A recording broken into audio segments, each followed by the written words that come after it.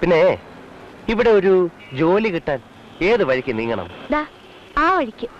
Government അംഗീകാരത്തോടെ ദേശത്തും വിദേശത്തും നിരവധി തൊഴിലവസരങ്ങൾ. എയർകോൺസ് ഐ ടി ഐ വടകര.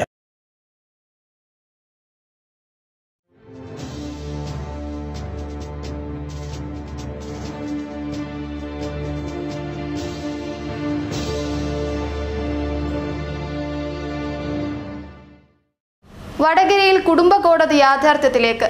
കെട്ടിടോദ്ഘാടനവും ശിലാസ്ഥാപനവും ഒക്ടോബർ ഇരുപത്തിയെട്ടിന് കോടതി വളപ്പിൽ നടക്കുമെന്ന് സംഘാടകർ വാർത്താ സമ്മേളനത്തിൽ അറിയിച്ചു. പൊതുമരാമത്ത് വകുപ്പ് ടൂറിസം വികസന വകുപ്പ് മന്ത്രി advocate P A Muhammad Riyas സമ്മതപത്രം നൽകി. ജസ്റ്റിസ് വി രാജവിജയരാഘവൻ കെട്ടിടത്തിന് തറക്കല്ലിടും.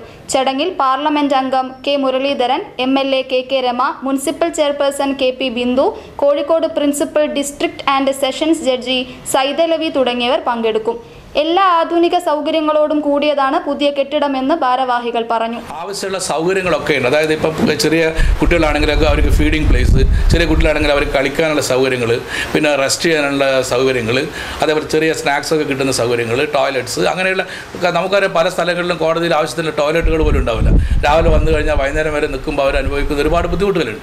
ആ ബുദ്ധിമുട്ടുകളൊന്നും ഇല്ലാതെ സുപ്രീം കോടതി നിർദ്ദേശിച്ചനുസരിച്ച് നിഷ്കർഷിച്ചനുസരിച്ചുള്ള രീതിയിലുള്ള ഒരു വലിയ കെട്ടിടമാണ്. നല്ലൊരു ഒരു എനിക്ക് തോന്നുന്നു കേരളത്തിൽ അതേപോലെയുള്ള ഒരു ഫാമിലി കോടതി ഉണ്ടാവില്ല. ആ കെട്ടിടം വന്നു കഴിഞ്ഞാൽ അത്ര സൗകര്യങ്ങളുള്ള ഒരു ബിൽഡിംഗ് ഉണ്ടാവില്ല. അത് അത് അത് സംസ്ഥാന സർക്കാരിന്റെ ഒരു സമ്മാനമായിട്ട് തന്നെ നമുക്ക് കാണാൻ കഴിയും. വാർത്താ സമ്മേളനത്തിൽ advocate M K Ramdas advocate K Lalmon advocate Shakeeb K advocate Geetha P advocate P Aswathy advocate P P Sunilkumar തുടങ്ങിയവർ പങ്കെടുത്തു.